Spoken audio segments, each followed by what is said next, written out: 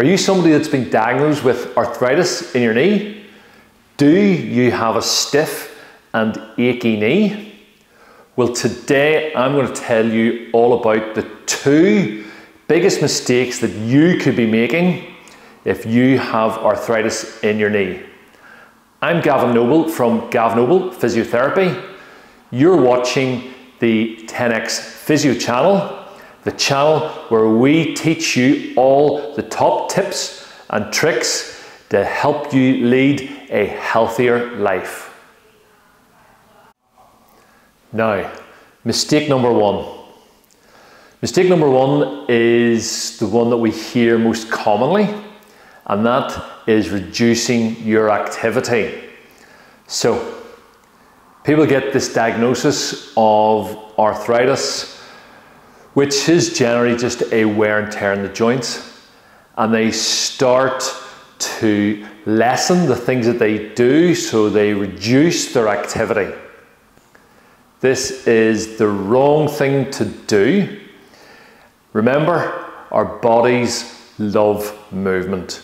It's all this movement which helps the synovial fluid move in and around the joints so the synovial fluid is like the oil in a joint, helps things move easily. When you start to reduce activity, you start to increase stiffness in the joints, and with that stiffness comes pain. Now, I'm not suggesting that we're going to get you prepared for a marathon or to go out and do some long runs. What we want you to do is we want you to stay mobile, doing things that you love doing, instead of just cutting back and stopping everything altogether. Remember, there's a happy medium between doing nothing and doing something. So, that's mistake number one. Bear it in mind, if you're fitting that category, then let's start to get you back doing something that you feel comfortable doing. Now let's look at mistake number two. So, mistake number two is not seeking professional help. Yes, that means you need to look for professional help from a specialist therapist who knows all about arthritis. Here at our physiotherapy clinic, we can help.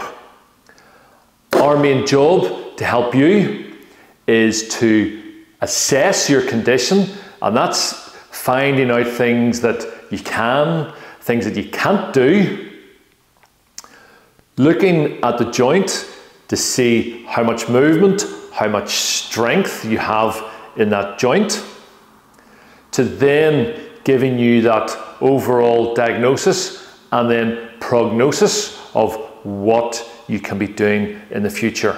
So, our job is to help you stay active and keep moving. We can help design the right exercise program for you.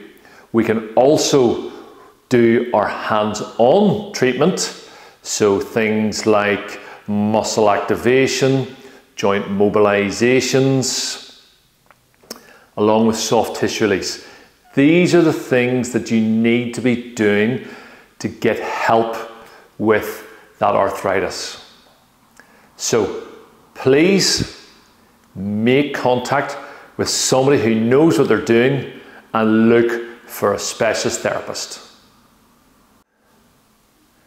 Now, if you're somebody that has been diagnosed with knee arthritis, hopefully you found the information in this video useful. If you have any further questions, please, please, please write them in the comments. If you've liked the video, please like the video. I would love it if you subscribed to our channel. And if you really like that, hit the notifications so that you get all our up-to-date information each week as the videos get pumped out. I'm Gavin Noble from Gavin Noble Physiotherapy and you've been watching the 10x Physio channel.